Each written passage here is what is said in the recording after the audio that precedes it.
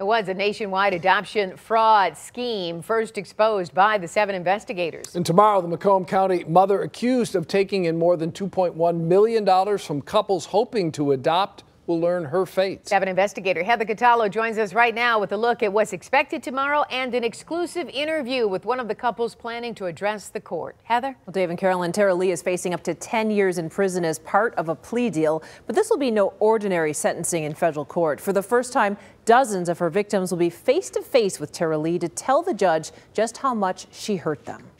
From the birth mothers who say they were manipulated. I went through my darkest time because you wanted to line your pockets. To the couples who had hoped to adopt babies. Well, we were told it was a little boy. That's what she always wanted. And there's no little boy? No.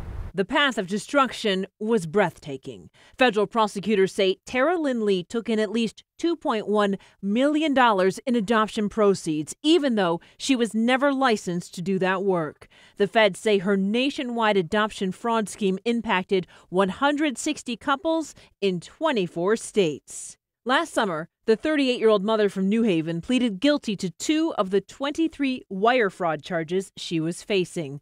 Lee acknowledged in her plea that she made up fake birth mothers, told adoptive couples that babies died when they had never existed, and double matched couples with the same birth moms. You ready? Yeah. hold on. I'm going to merge her in. The feds say Lee even had her co defendant, Angelica Wiggins, pose as a fake birth mom named Chantal during phone calls with couples who gave Lee thousands of dollars to be matched with babies. Chantal, you there? Yeah, I'm here. Say hi, lady. Hi, how are you doing? I'm good. How are you? Good. Uh, had a little bit of morning sickness, but I'm doing good. Federal prosecutors say Lee spent that money on more than $372,000 worth of luxury goods, including jewelry and watches, and called her a scam artist who broke her victims' hearts over and over again. Lee has been behind bars since last March after the seven investigators showed her violating her bond by using a cell phone. Now her lawyers are asking Judge Bernard Friedman for leniency, and they submitted dozens of letters from friends and supporters to the court. They describe her as a woman who would do anything for the birth mothers. This is like epic, like what she did to people. Michael and Teresa Matheny disagree. Her crimes are crimes against humanity. She is a monster.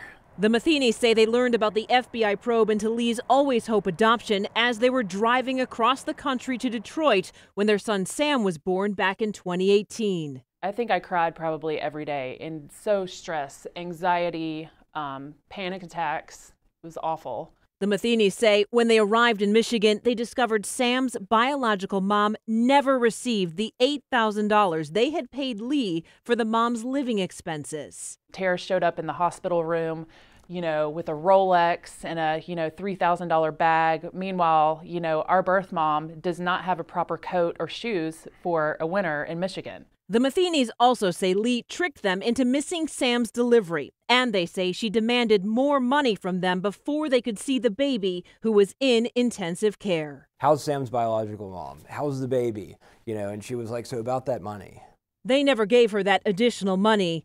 And while the Matheny's know they are among the rare lucky couples who ended up with a baby, they still traveled all the way from Georgia so they can tell the judge at Lee's sentencing on Wednesday that she also hurt the birth parents as well as the couples desperate to adopt. It was hard to watch these two people who had given us the greatest gift go through something so emotional and the hardest decision they will ever have to make in their life and to see that they were treated, you know, terribly, so terribly the Matheny's say their adoption that was supposed to cost around $20,000 ended up costing them closer to $60,000 because of what they say were Tara Lee's lies. The U.S. Probation Department is recommending that Lee pay more than $1 million in restitution. It's not clear if any of the adoptive couples or birth moms will ever see any of that money. We'll see what the judge decides tomorrow, and of course, we'll be there. Triple the money.